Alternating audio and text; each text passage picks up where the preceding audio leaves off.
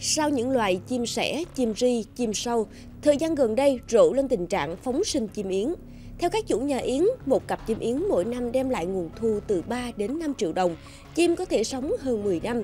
Thế nhưng thợ săn bắt để bán phóng sinh hoặc làm mồi bán cho các quán nhậu chỉ 5.000 đồng một con.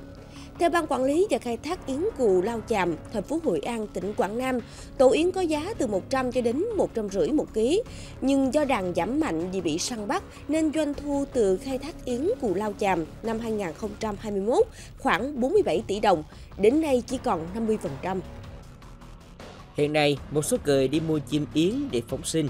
Theo Phật giáo, phóng sinh tức là khi nhìn thấy các loài chúng sinh đang bị bắt nhốt, mang sống trong phút giây quý cập liền phát lòng từ bi tìm cách cứu chuột Việc phóng sinh xuất phát từ lòng thương xót khi thấy con vật bị nạn.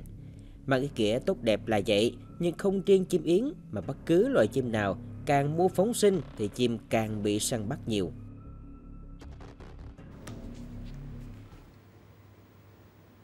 Theo các nhà nghiên cứu điểu học, Việt Nam có gần 900 loài chim, trong đó khoảng 70 loài có tầm quan trọng đặc biệt. Số lượng chim trời cá nước vơi dần ngoài môi trường sống bị thu hẹp thì vấn đề nhức nhối thời gian qua là chưa dẹp được địa ngục chim trời.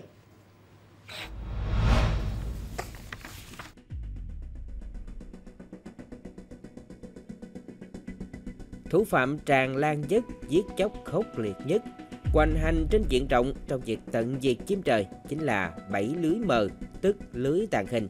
Các tấm lưới dằn như thiên la địa võng tại một số khu vực chim di cư kiếm ăn. Những chú chim trời mắc lưới dãy dụa trong tuyệt vọng. Ở đâu cũng bắt gặp phương tiện săn bắt.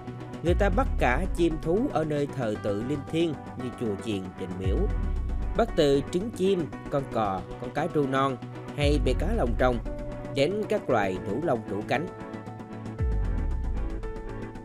con người dùng đủ kiểu, đủ cách để săn đánh bắt, từ các dụng cụ như lợp, cần câu đến các phương tiện nguy hiểm hơn như soi cá, giật bình, chất độc, thuốc trừ sâu rầy, xịt điện để bắt cá, đốt đồng cỏ, bụi rậm, súng hơi, tẩm bã thuốc độc, chất độc để bắt chim thú.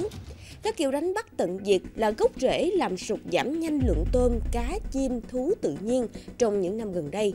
Nếu không nuôi trồng và bảo vệ chim thú thì trong tương lai chẳng còn gì.